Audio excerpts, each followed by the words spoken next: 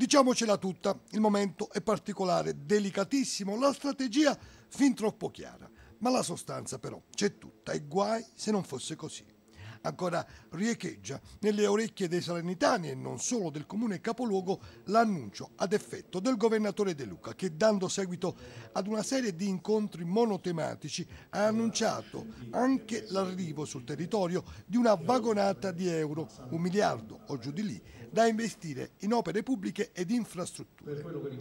Non ci fosse stata di mezzo l'infocata campagna elettorale per le politiche di domenica, l'annuncio avrebbe avuto, considerata la portata dell'investimento, una eco mediatica prorompente ed invece, proprio perché secondo qualcuno l'annuncio è legato a filo doppio al voto di domenica, è stato derubricato alla voce slogan propagandistico.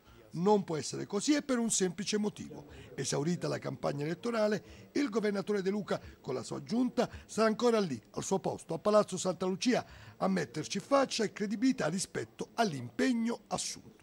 Dunque si può discutere sulla tempistica, sulla forza mediatica, non sulla sostanza.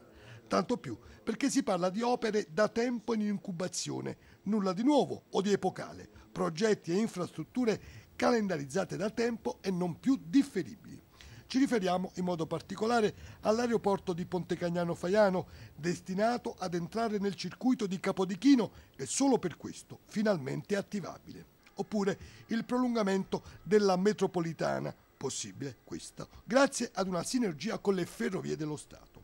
Opere di straordinaria importanza per le quali la Regione Campania ha trovato partner istituzionali finalmente disponibili ad ascoltare, decisi ad accompagnare il percorso, in quanto le opere in questione, a prescindere dal colore politico della giunta regionale, vengono considerate di assoluta e strategica importanza.